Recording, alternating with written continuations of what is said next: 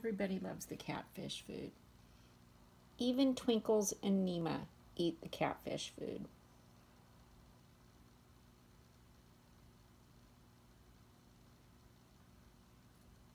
The guppies love it. Danios love it. The catfish loves it now.